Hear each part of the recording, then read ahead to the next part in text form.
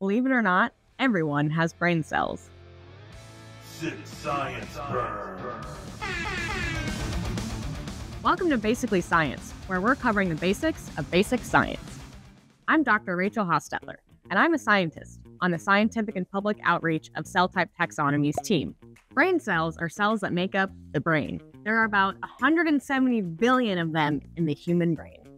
About half of these are neurons, which are cells that send and receive electrical signals. The other half are glia, which provide support. Here at the Allen Institute, we're going brain cell by brain cell to profile them and their locations. And there's lots of ways to divide them up. First is by shape. This one is shaped like a pyramid, and so it's called a pyramidal neuron. Shocking.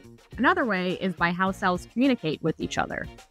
This neuron has a fast spiking pattern, and we can see that with patch clamp electrophysiology. We can also categorize brain cells by looking at which genes they have turned on and off and at what levels. And thanks to a recently developed technique called PatchSeq, we can now look at a cell's shape, electrical activity, and RNA expression all together. So why are we doing all of this? Well, we learn a lot about what the healthy brain is made of, which helps us then better understand what changes occur with disease. Mapping the brain is a big challenge, but with lots of people around the world, we're working together to decode it.